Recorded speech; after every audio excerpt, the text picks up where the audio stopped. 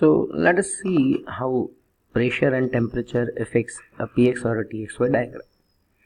Naturally, when we increase pressure on a particular of a particular species, its boiling point will increase. So you know T1 set, T2 set, which are the which are the extremes of the diagram, will naturally increase. So say for example, there is a txy diagram at a given pressure Pa, and K corresponds to T1 set of component 1 and H corresponds to T2 set of component 2. As I increase the pressure, naturally this will increase in this direction and this will increase in this direction. What will happen due to that is that as we increase the pressure, the boiling points would increase. However, at some point in time, uh, the temperature would be so high that it will not reach the you know uh, uh, uh one of the ends of the diagram. What happens here is that as you increase the pressure, the mixture may attain a critical point, and beyond which you can, will not be able to uh, you know distinguish between vapor and liquid, and you may not extend it to this side.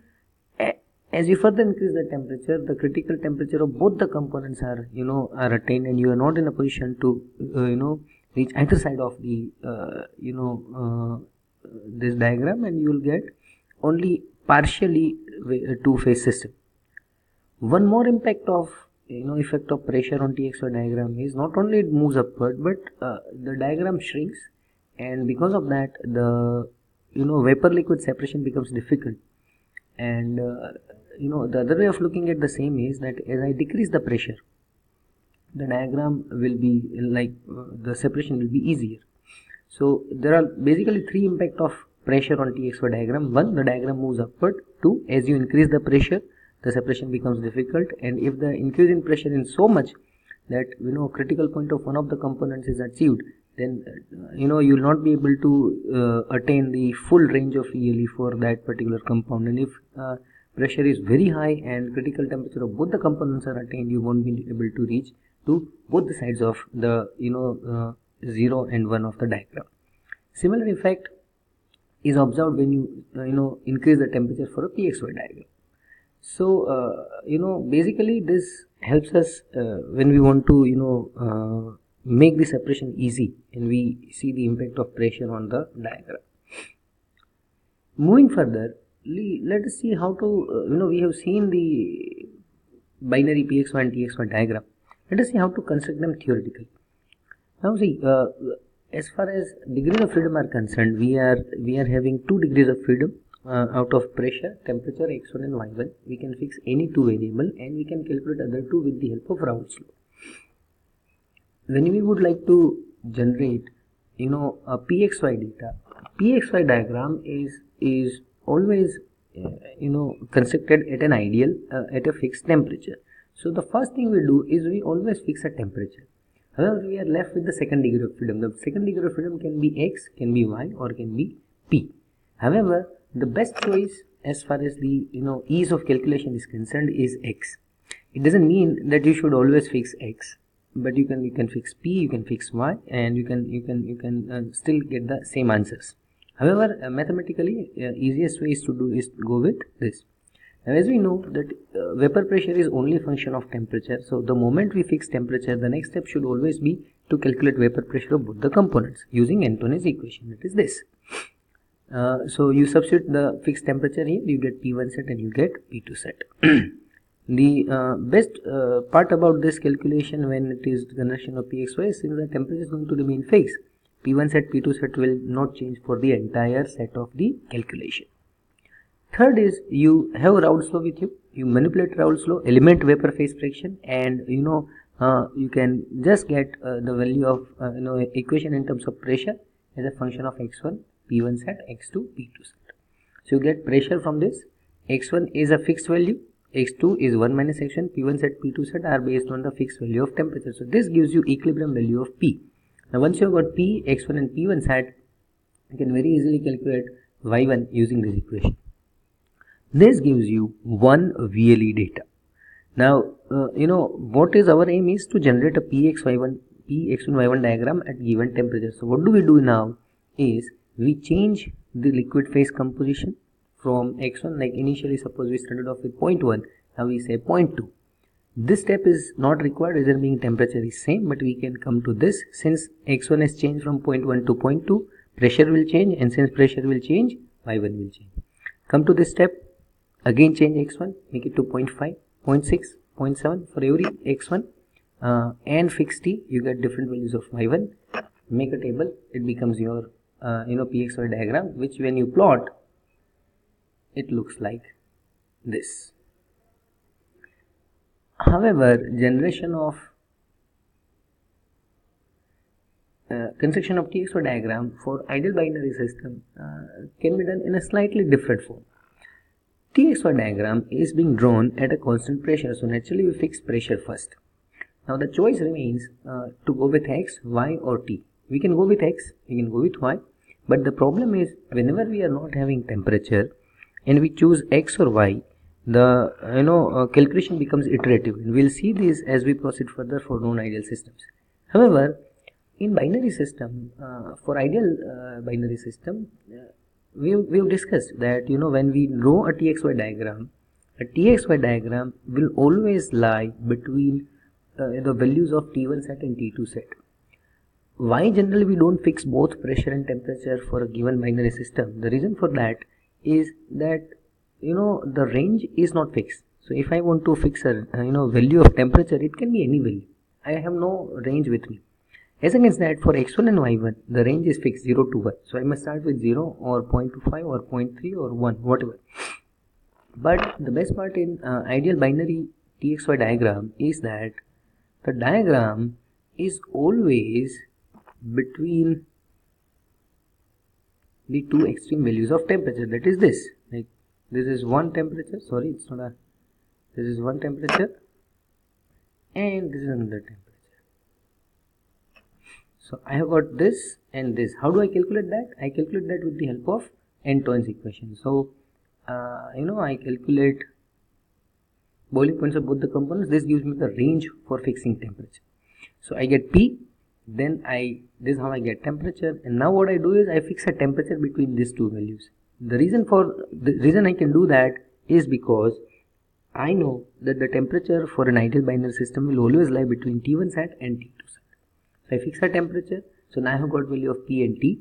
I can't fix any other because my degree of freedom are only 2. Using, you know, manipulating your uh, Raoult's law, you know, you first calculate vapor pressure, manipulating Raoult's law, you can calculate X1. Where in everything is on right hand side is known. You know pressure, you know P1 set, P2 set based on this fixed value of T.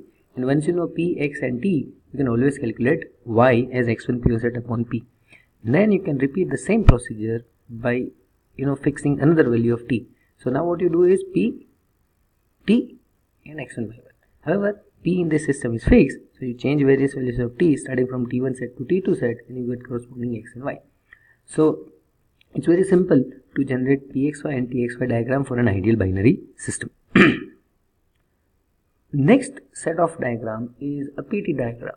Now we know that you know um, a PT diagram for a pure component system you know will when your liquid and vapor saturation line are superimposed on each other so this rc1 here and uc2 here they corresponds to pure component 1 and pure component 2 so this is what we have already seen when we have talked about pure component fluid phase equilibrium. When plotted pt we have plotted something like this you know. And this is diagram which is what I am talking about. Now uh, when we do this like before we discuss about this let us go back to our pxy diagram. You know this is our pxy diagram isn't it? Now if uh, you know I draw a straight line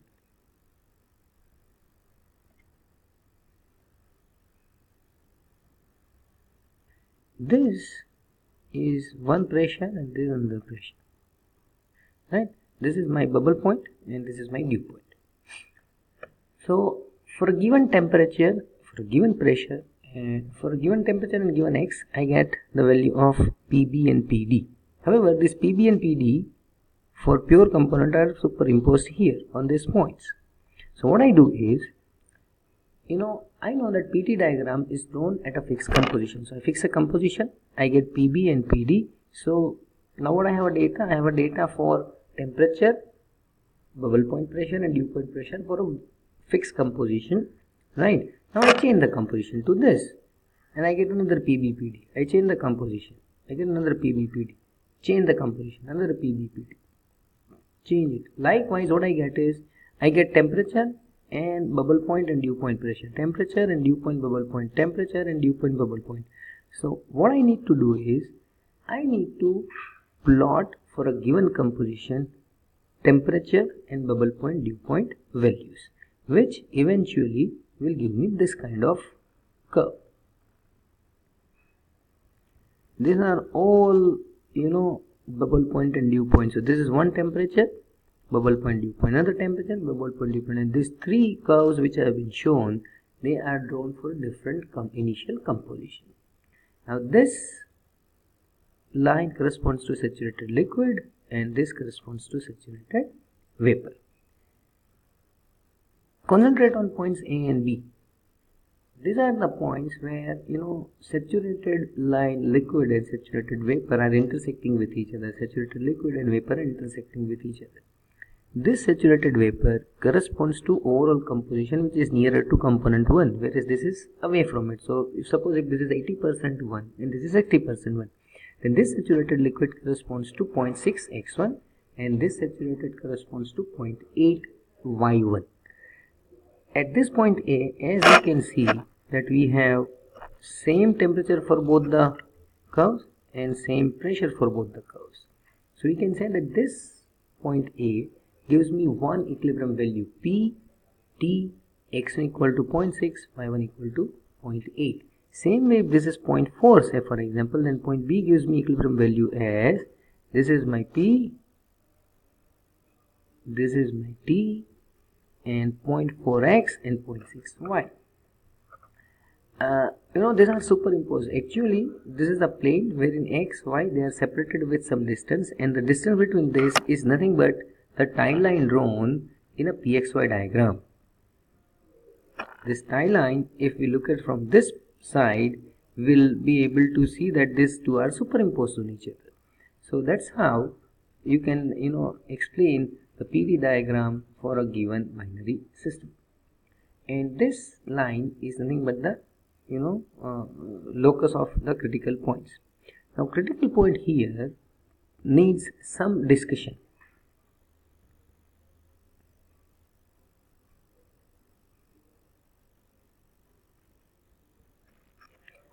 What does this critical mean you see that uh,